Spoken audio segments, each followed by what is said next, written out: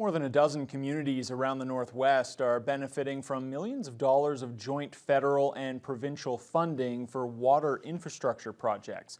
The federal and Ontario governments recently announced a long list of cities, towns, and First Nations receiving money through the Investing in Canada infrastructure program. Mitchell Ringos has more on where all that funding will go in our area.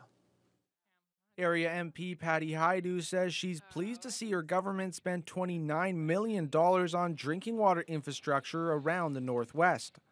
Gaming First Nation and Lac Seul First Nation will each receive a total of $4.6 million for several kilometers of new water mains in their communities, along with other upgrades. Wabigoon Lake Ojibwe Nation will receive 4.3 million for new water mains and new fire hydrants.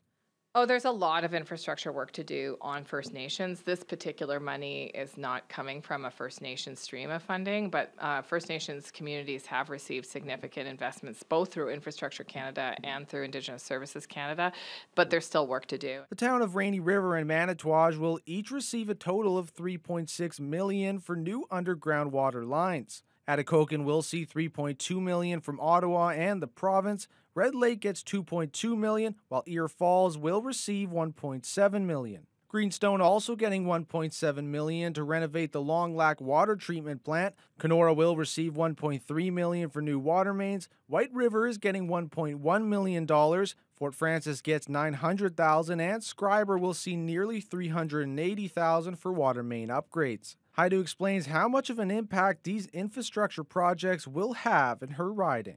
It's uh, really important money for small communities along the North Shore because oftentimes they don't have the tax base to do major infrastructure repairs. So communities like Manitouwadge or Schreiber, uh, Long Lac, these are communities that often struggle to keep those uh, those basic pieces of uh, water infrastructure intact, and uh, this will go a long way, I'm sure, to help them in those goals.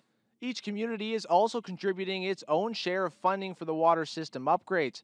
Projects around the Northwest are expected to have varying starting dates for construction, with most of them planned for this summer. Mitchell Ringos, TBT News.